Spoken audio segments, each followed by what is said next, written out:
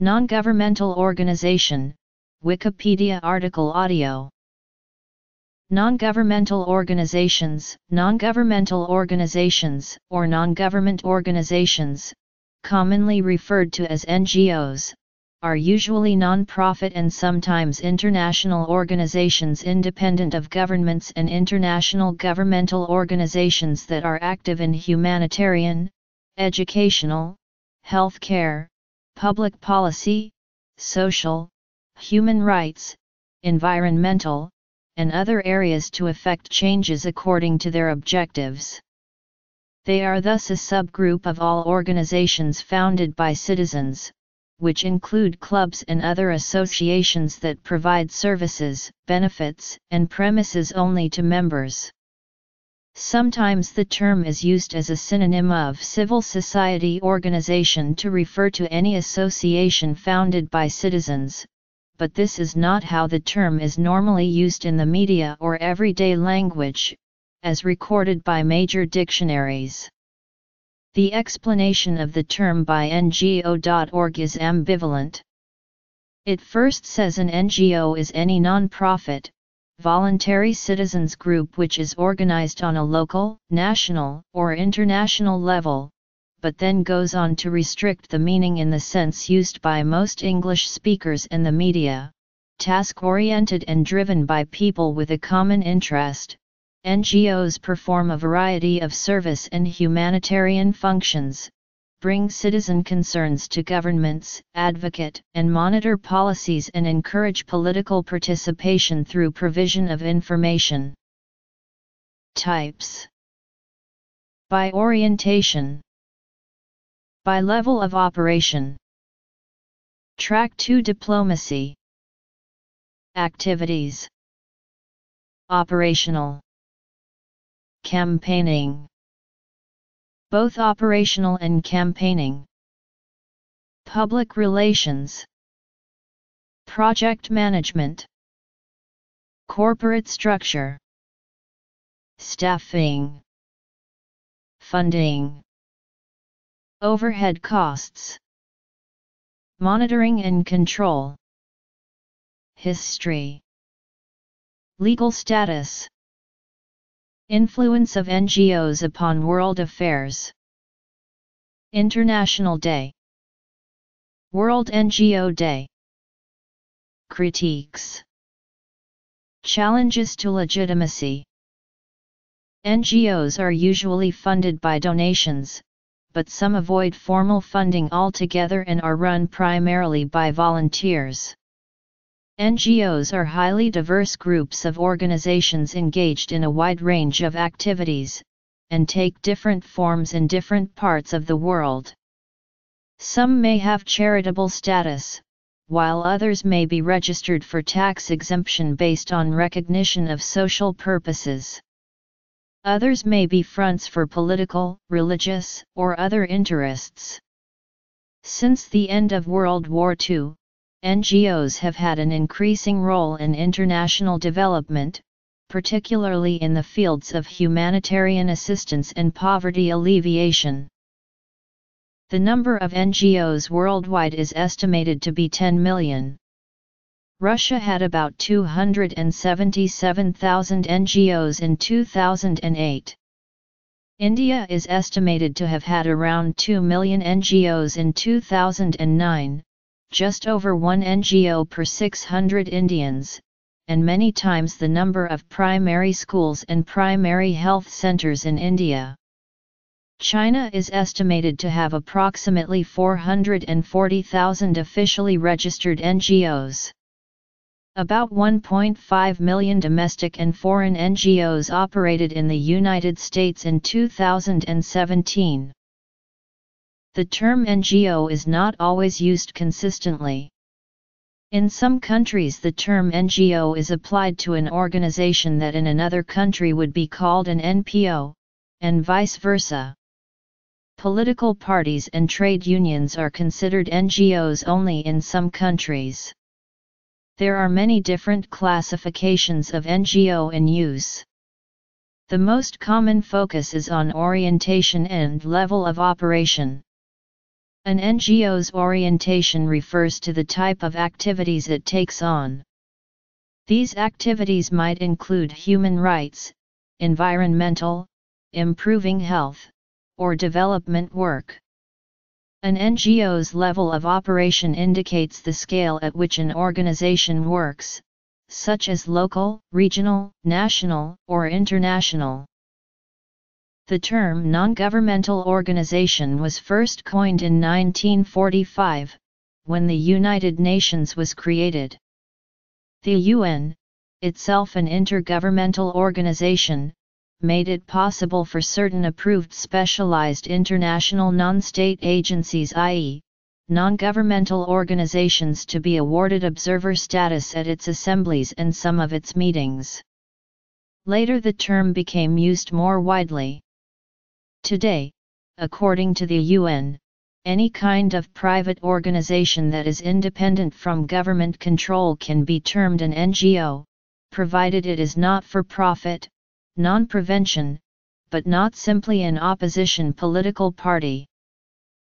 One characteristic these diverse organizations share is that their non-profit status means they are not hindered by short-term financial objectives.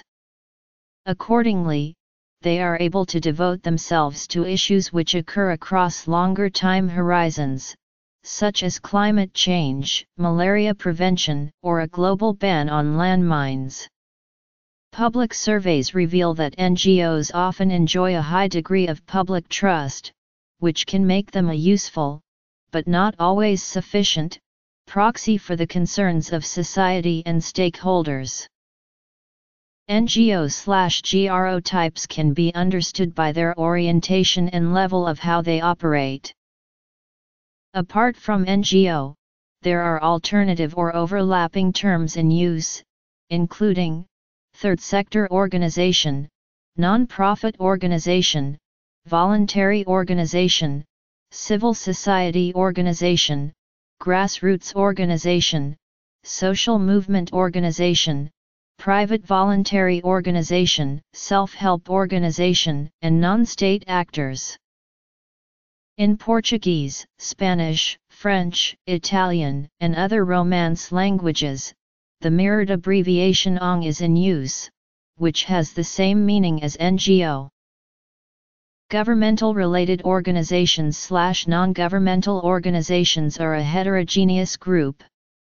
As a result, a long list of additional acronyms has developed, including USAID refers to NGOs as private voluntary organizations. However, many scholars have argued that this definition is highly problematic as many NGOs are in fact state or corporate funded and managed projects and have professional staff. GRO/NGOs exist for a variety of reasons, usually to further the political or social goals of their members or founders. Examples include improving the state of the natural environment, encouraging the observance of human rights, improving the welfare of the disadvantaged, or representing a corporate agenda. However, there are a huge number of such organizations and their goals cover a broad range of political and philosophical positions. This can also easily be applied to private schools and athletic organizations. Track 2 Dialogue, or Track 2 Diplomacy, is transnational coordination that involves non-official members of the government including epistemic communities as well as former policymakers or analysts. Track 2 diplomacy aims to get policymakers and policy analysts to come to a common solution through discussions by unofficial means. Unlike the Track I diplomacy where government officials, diplomats, and elected leaders gather to talk about certain issues, Track 2 diplomacy consists of experts, scientists, professors, and other figures that are not involved in government affairs. The members of Track 2 diplomacy usually have more freedom to exchange ideas and come up with compromises on their own. There are numerous classifications of NGOs. The typology the World Bank uses divides them into operational and advocacy. Generally, NGOs act as implementers, catalysts, and partners. Firstly, NGOs act as implementers in that they mobilize resources in order to provide goods and services to people who are suffering due to a man-made disaster or a natural disaster. Secondly, NGOs act as catalysts in that they drive change. They have the ability to inspire, facilitate, or contribute to improved thinking and action to promote change. Lastly, NGOs often act as partners alongside other organizations in order to tackle problems and address human needs more effectively. NGOs vary in their methods. Some act primarily as lobbyists, while others primarily conduct programs and activities. For instance, an NGO such as Oxfam, concerned with poverty alleviation, may provide needy people with the equipment and skills to find food and clean drinking water, whereas an NGO like the FFDA helps through investigation and documentation of human rights violations and provides legal assistance to victims of human rights abuses. Others, such as the Afghanistan Information Management Services, provide specialized technical products and services to support development activities implemented on the ground by other organizations. Operational NGOs seek to achieve small-scale change directly through projects. They mobilize financial resources, materials, and volunteers to create localized programs. They hold large-scale fundraising events and may apply to governments and organizations for grants or contracts to raise money for projects. They often operate in a hierarchical structure, a main headquarters being staffed by professionals who plan projects, create budgets, keep accounts, and report and communicate with operational field workers who work directly on projects. Operational NGOs deal with a wide range of issues, but are most often associated with the delivery of services or environmental issues, emergency relief, and public welfare. Operational NGOs can be further categorized by the division into relief-oriented versus development-oriented organizations, according to whether they stress service delivery or participation, whether they are religious or secular, and whether they are more public or private-oriented. Although operational NGOs can be community-based, many are national or international. The defining activity of operational NGOs is the implementation of projects. Campaigning NGOs seek to achieve large-scale change promoted indirectly through influence of the political system. Campaigning NGOs need an efficient and effective group of professional members who are able to keep supporters informed and motivated. They must plan and host demonstrations and events that will keep their cause in the media. They must maintain a large informed network of supporters who can be mobilized for events to garner media attention and influence policy changes. The defining activity of campaigning NGOs is holding demonstrations. Campaigning NGOs often deal with issues relating to human rights, women's rights, and children's rights. The primary purpose of an advocacy NGO is to defend or promote a specific cause. As opposed to operational project management, these organizations typically try to raise awareness, acceptance, and knowledge by lobbying, press work and activist event. It is not uncommon for NGOs to make use of both activities. Many times, operational NGOs will use campaigning techniques if they continually face the same issues in the field that could be remedied through policy changes. At the same time, campaigning NGOs, like human rights organizations often have programs that assist the individual victims they are trying to help through their advocacy work. Non-governmental organizations need healthy relationships with the public to meet their goals. Foundations and charities use sophisticated public relations campaigns to raise funds and employ standard lobbying techniques with governments. Interest groups may be of political importance because of their ability to influence social and political outcomes. A code of ethics was established in 2002 by the World Association of Non-Governmental Organizations there is an increasing awareness that management techniques are crucial to project success in non-governmental organizations. Generally, non-governmental organizations that are private have either a community or environmental focus. They address varieties of issues such as religion, emergency aid, or humanitarian affairs. They mobilize public support and voluntary contributions for aid, they often have strong links with community groups in developing countries, and they often work in areas where government to government aid is not possible. NGOs are accepted as a part of the international relations landscape, and while they influence national and multilateral policy making, increasingly they are more directly involved in local action. Some NGOs are highly professionalized and rely mainly on paid staff. Others are based around voluntary labor and are less formalized. Not all people working for non-governmental organizations are volunteers. Many NGOs are associated with the use of international staff working in developing countries, but there are many NGOs in both North and South who rely on local employees or volunteers. There is some dispute as to whether expatriates should be sent to developing countries. Frequently this type of personnel is employed to satisfy a donor who wants to see the supported project managed by someone from an industrialized country. However, the expertise of these employees or volunteers may be counterbalanced by a number of factors.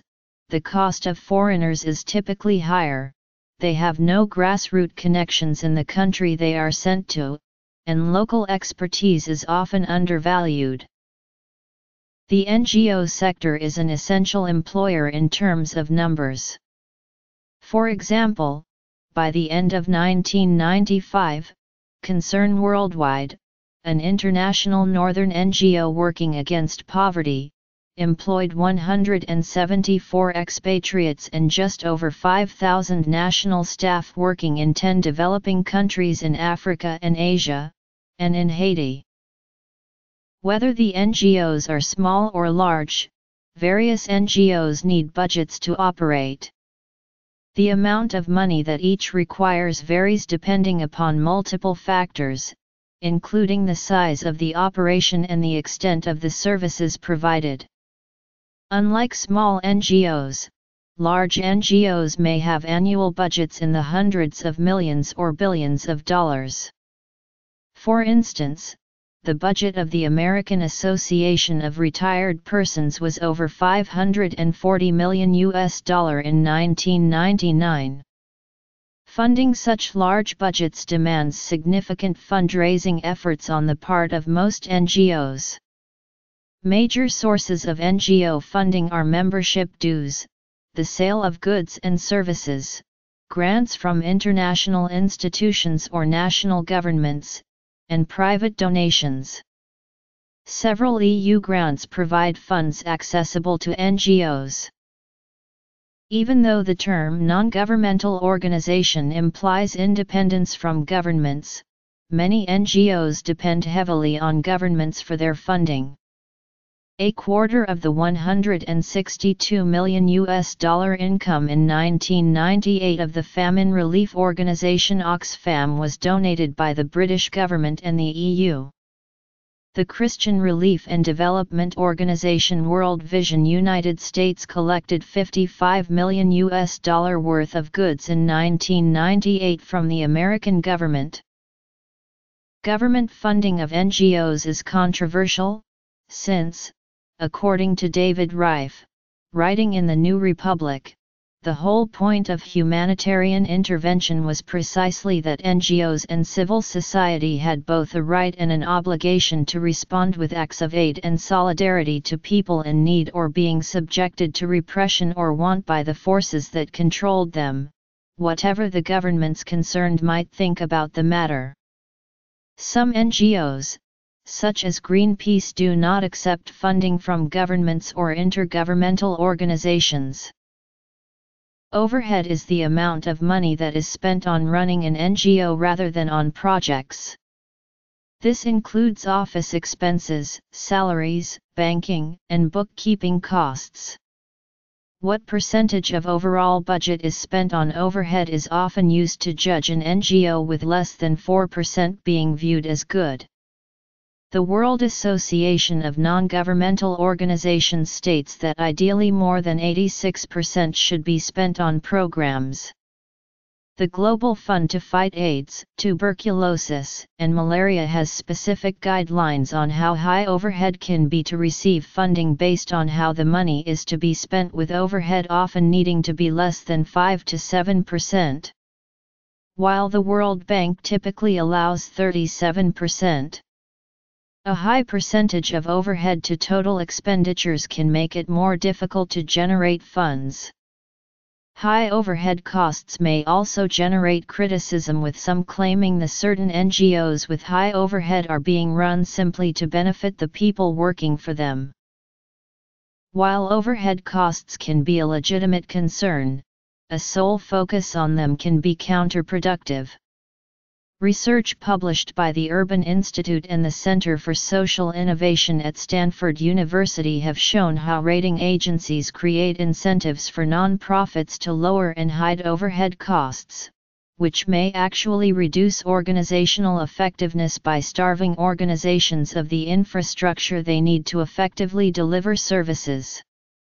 A more meaningful rating system would provide, in addition to financial data, a qualitative evaluation of an organization's transparency and governance, an assessment of program effectiveness, and an evaluation of feedback mechanisms designed for donors and beneficiaries, and such a rating system would also allow rated organizations to respond to an evaluation done by a rating agency. More generally, the popular discourse of nonprofit evaluation should move away from financial notions of organizational effectiveness and toward more substantial understandings of programmatic impact. In the March 2000 report on United Nations reform priorities, former UN Secretary General Kofi Annan wrote in favor of international humanitarian intervention, arguing that the international community has a right to protect citizens of the world against ethnic cleansing, genocide, and crimes against humanity. On the heels of the report, the Canadian government launched the Responsibility to Protect R2P project, outlining the issue of humanitarian intervention. While the R2P doctrine has wide applications, among the more controversial has been the Canadian government's use of R2P to justify its intervention and support of the coup in Haiti. Years after R2P, the World Federalist Movement, an organization which supports the creation of democratic global structures accountable to the citizens of the world and call for the division of international authority among separate agencies, has launched Responsibility to Protect, Engaging Civil Society. A collaboration between the WFM and the Canadian Government, this project aims to bring NGOs into lockstep with the principles outlined under the original R2P project. Bingo, Business Friendly International NGO or Big International NGO, SBO, Social Benefit Organization, a positive, goal-oriented designation as a substitute for the negative, non-designations, Tango, Technical Assistance NGO, SO, Third Sector Organization, GONGO, Government Organized Non-Governmental Organization or Government-Operated NGOs, DONGO, Donor Organized NGO, INGO, International NGO, Quango, quasi-autonomous NGO, or Quango refer to NGOs set up and funded by government. The term is particularly prevalent within the UK, the Republic of Ireland, and the Commonwealth. National NGO, a non-governmental organization that exists only in one country. This term is rare due to the globalization of non-governmental organizations, which causes an NGO to exist in more than one country, CSO, civil society organization, ENGO, environmental NGO, such as Greenpeace and WWF, NNGO, Northern NGO, Sparsh NGO, Sparsh NGO, such as non-governmental organization, PANGO, Party NGO, set up by parties and disguised as NGOs to serve their political matters, SNGO, Southern NGO, SCO, Social Change Organization, TNGO, Transnational NGO. The term emerged during the 1970s due to the increase of environmental and economic issues in the global community. TNGO includes non-governmental organizations that are not confined to only one country, but exist in two or more countries, GSO, Grassroots Support Organization, MANGO, Market Advocacy NGO, NGDO, Non-Governmental Development Organization, PVDO, Private Voluntary Development Organization. Unincorporated and voluntary association, trusts, charities, and foundations, companies not just for profit, entities formed or registered under special NGO or non-profit laws. The governments of the countries an NGO works or is registered in may require reporting or other monitoring and oversight. Funders generally require reporting and assessment, such information is not necessarily publicly available. There may also be associations and watchdog organizations that research and publish details on the actions of NGOs working in particular geographic or program areas.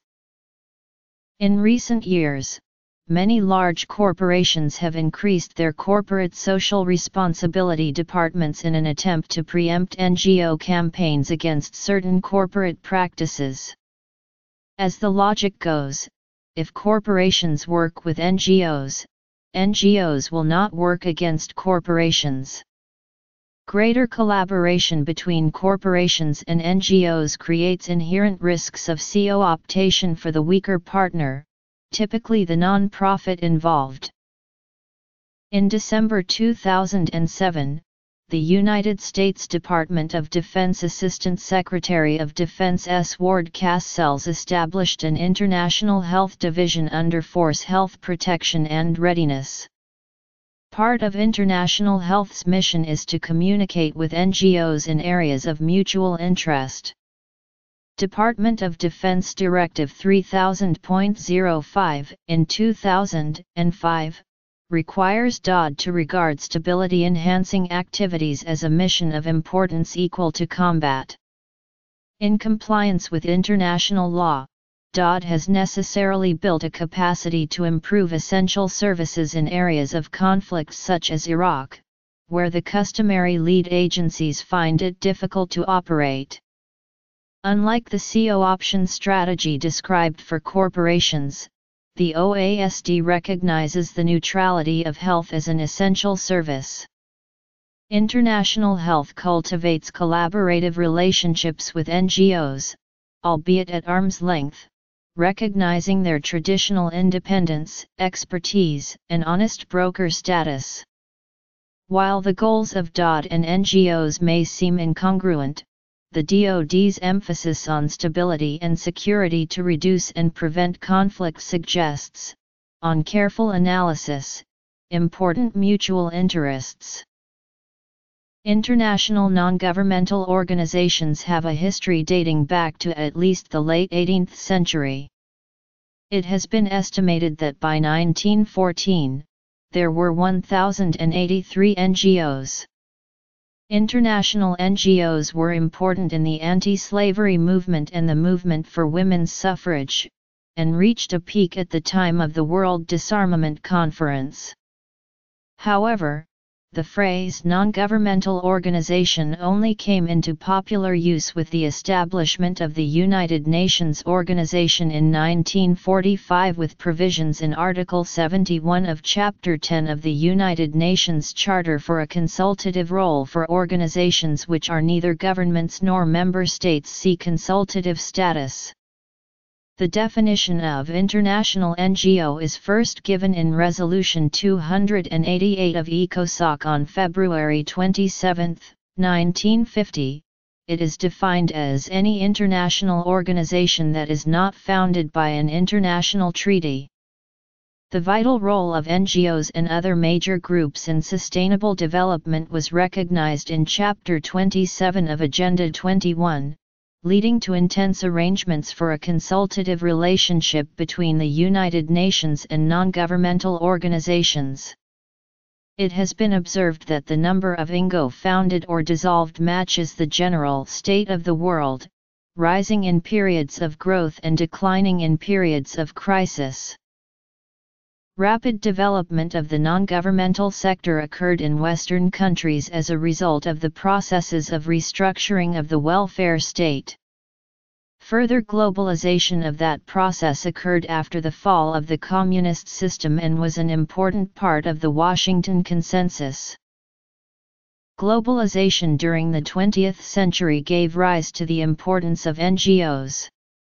Many problems could not be solved within a nation. International treaties and international organizations such as the World Trade Organization were centered mainly on the interests of capitalist enterprises. In an attempt to counterbalance this trend, NGOs have developed to emphasize humanitarian issues, developmental aid, and sustainable development. A prominent example of this is the World Social Forum, which is a rival convention to the World Economic Forum held annually in January in Davos, Switzerland. The Fifth World Social Forum in Porto Alegre, Brazil, in January 2005 was attended by representatives from more than 1,000 NGOs. In terms of environmental issues and sustainable development, the Earth Summit in Rio in 1992 was the first to show the power of international NGOs, when about 2,400 representatives of NGOs came to play a central role in deliberations. Some have argued that in forums like these, NGOs take the place of what should belong to popular movements of the poor. Whatever the case, NGO transnational networking is now extensive. Another issue which has brought NGOs to develop further is the inefficiency of some top-heavy, global structures. For instance, in 1994, former UN envoy to Somalia Mohammed Sahnoun published a book entitled Somalia, The Missed Opportunities, in which he clearly shows that when the United Nations tried to provide humanitarian assistance, they were totally outperformed by NGOs, whose competence and dedication sharply contrasted with the United Nations' excessive caution and bureaucratic inefficiencies, their main Somalia envoys operating from the safety of their desks in Nairobi. The refusal of Boutros Boutros Ghali, then UN Secretary General to accept this criticism led to the early end of Mohamed Sahnoun's mission in Somalia. The legal form of NGOs is diverse and depends upon homegrown variations in each country's laws and practices. However, four main family groups of NGOs can be found worldwide. The Council of Europe in Strasbourg drafted the European Convention on the Recognition of the Legal Personality of International Non-Governmental Organizations in 1986, which sets a common legal basis for the existence and work of NGOs in Europe. Article 11 of the European Convention on Human Rights protects the right to freedom of association, which is also a fundamental norm for NGOs. Service delivery NGOs provide public goods and services that governments from developing countries are unable to provide to society, due to lack of resources. Service delivery NGOs can serve as contractors or collaborate with democratized government agencies to reduce cost associated with public goods. Capacity building NGOs influence global affairs differently, in the sense that the incorporation of accountability measures in Southern NGOs affect culture, structure, projects, and daily operations. Advocacy and public education NGOs affect global affairs in its ability to modify behavior through the use of ideas. Communication is the weapon of choice used by advocacy and public education NGOs in order to change people's actions and behaviors. They strategically construct messages to not only shape behavior, but to also socially mobilize communities in promoting social, political, or environmental changes. Movement NGOs mobilizes the public and coordinate large-scale collective activities to significantly push forward activism agenda. In the post-Cold War era, more NGOs based in developed countries have pursued international outreach and became involved in local and national level social resistance and become relevant to domestic policy change in the developing world. In for the cases where national governments are highly sensitive to external influences via non-state actors, specialized NGOs have been able to find the right partners, building up solid working networks, locating a policy niche and facilitating domestic changes. World NGO Day is observed annually on February 27. It was officially recognized and declared on April 17, 2010 by 12 countries of the 9 Baltic Sea NGO Forum to the 8th Summit of the Baltic Sea States in Vilnius, Lithuania. The World NGO Day was internationally marked and recognized on February 27, 2014 in Helsinki, Finland by Helen Clark, Administrator of the United Nations Development Programme and former Prime Minister of New Zealand who congratulated with the World NGO Day and highlighted the importance of NGO sector for the UN through her speech. Issa G. Shivji is one of Africa's leading experts on law and development issues as an author and academic. His critique on NGOs is found in two essays, Silences in NGO Discourse, The Role and Future of NGOs in Africa and Reflections on NGOs in Tanzania, What We Are, What We Are Not and What We Ought to Be. Shivji argues that despite the good intentions of NGO leaders and activists, he is critical of the objective effects of actions, regardless of their intentions. Shivji argues also that the sudden rise of NGOs are part of a neoliberal paradigm rather than pure altruistic motivations. He is critical of the current manifestations of NGOs wanting to change the world without understanding it, and that the imperial relationship continues today with the rise of NGOs. James Pfeiffer, in his case study of NGO involvement in Mozambique, speaks to the negative effects that NGOs have had on areas of health within the country. He argues that over the last decade, NGOs in Mozambique have fragmented the local health system, undermined local control of health programs, and contributed to growing local social inequality.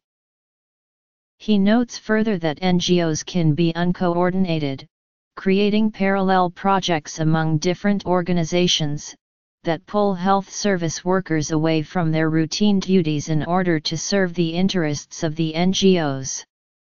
This ultimately undermines local primary health care efforts, and takes away the government's ability to maintain agency over their own health sector. Jay Pfeiffer suggested a new model of collaboration between the NGO and the DPS. He mentioned the NGO should be formally held to standard and adherence within the host country, for example reduce showcase projects and parallel programs that proves to be unsustainable. Jessica Mathews wrote in Foreign Affairs in 1997, For all their strengths, NGOs are special interests. The best of them, often suffer from tunnel vision, judging every public act by how it affects their particular interest. Since NGOs do not have to worry about policy trade-offs, the overall impact of their cause might bring more harm to society. Vijay Prashad argues that from the 1970s the World Bank, under Robert McNamara, championed the NGO as an alternative to the state, leaving intact global and regional relations of power and production. Others argue that NGOs are often imperialist in nature, that they sometimes operate in a racialized manner in third world countries, and that they fulfill a similar function to that of the clergy during the high colonial era. The philosopher Peter Hallward argues that they are an aristocratic form of politics. He also points to the fact that NGOs like ActionAid and Christian Aid effectively condoned the coup against an elected government in Haiti and argues that they are the humanitarian face of imperialism. Popular movements in the Global South such as the Western Cape anti-eviction campaign in South Africa have sometimes refused to work with NGOs arguing that this will compromise their autonomy. It has also been argued that NGOs often disempower people by allowing funders to push for stability over social justice.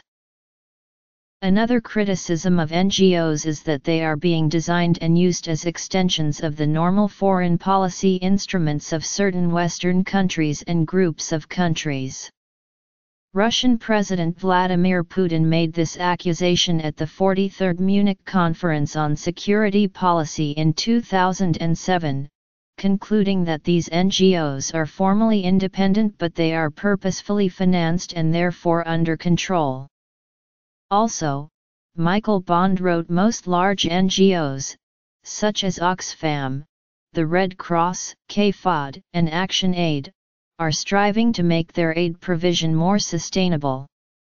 But some, mostly in the US, are still exporting the ideologies of their backers. China has recently introduced legal measures to regulate and reduce the influence of foreign NGOs operating in China. NGOs have also been accused of using white lies or misinformed advice to enact their campaigns, i.e., accusations that NGOs have been ignorant about critical issues because, as chief scientist at Greenpeace Doug Parr said, these organizations appear to have lost their efforts in being truly scientific and now seem to be more self-interested. Rather than operating through science so as to be rationally and effectively practical, NGOs have been accused of abusing the utilization of science to gain their own advantages. In the beginning, as Parr indicated, there was a tendency among our critics to say that science is the only decision-making tool, but political and commercial interests are using science as a cover for getting their way. At the same time, NGOs can appear to not be cooperative with other groups, according to the previous policymaker for the German branch of Friends of the Earth, Jens Katjek. If NGOs want the best for the environment, he says, they have to learn to compromise. NGOs have also been questioned as being too much of a good thing. Eric Werker and Faisal Ahmed bring up three potential critiques of the role of NGOs in developing nations, too many NGOs in a nation particularly one ruled by a warlord reduces the NGO's ability to establish a credible threat of removing humanitarian assistance since they can easily be replaced by another NGO.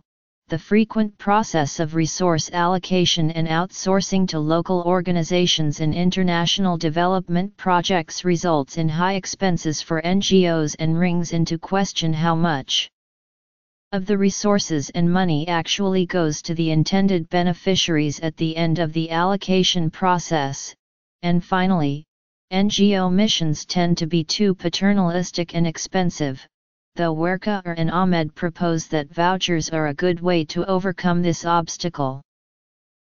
The issue of the legitimacy of NGOs raises a series of important questions. Legitimacy is one of the most important assets possessed by an NGO and is gained due to them being perceived as an independent voice. Their representation also emerges as an important question.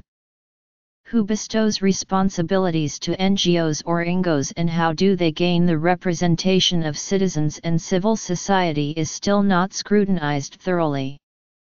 For instance, in the article, it is stated, to put the point starkly, are the citizens of countries of the South and their needs represented in global civil society, or are citizens as well as their needs constructed by practices of representation.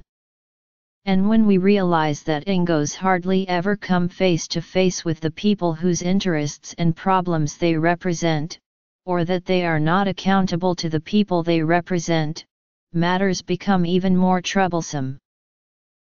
The origin of funding can have serious implications for the legitimacy of NGOs.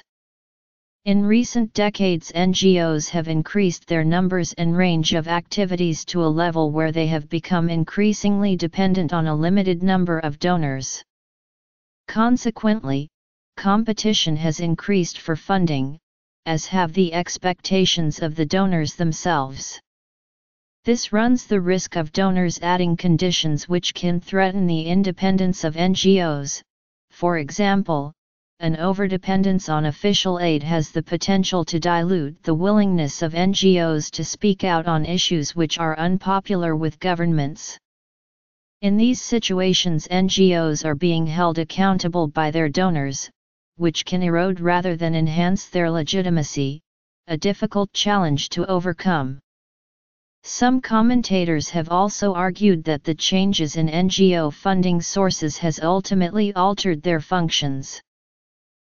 NGOs have also been challenged on the grounds that they do not necessarily represent the needs of the developing world, through diminishing the so-called Southern voice.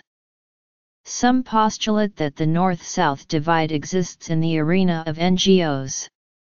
They question the equality of the relationships between northern and southern parts of the same NGOs as well as the relationships between southern and northern NGOs working in partnerships.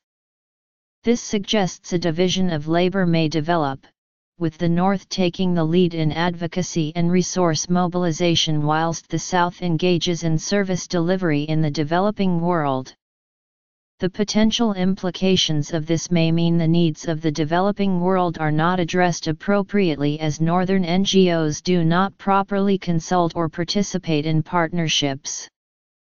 The real danger in this situation is that Western views may take the front seat and assign unrepresentative priorities. The flood of NGOs has also been accused of damaging the public sector in multiple developing countries, e.g., accusations that NGO mismanagement has resulted in the breakdown of public health care systems. Instead of promoting equity and alleviating poverty, NGOs have been under scrutiny for contributing to socio-economic inequality and disempowering services in the public sector of third world countries. The scale and variety of activities in which NGOs participate has grown rapidly since the 1980s, witnessing particular expansion in the 1990s. This has presented NGOs with a need to balance the pressures of centralization and decentralization. By centralizing NGOs, particularly those that operate at an international level, they can assign a common theme or set of goals. Conversely it may also be advantageous to decentralize as this can increase the chances of an NGO responding more flexibly and effectively to localized issues by implementing projects which are modest in scale, easily monitored, produce immediate benefits and where all involved know that corruption will be punished.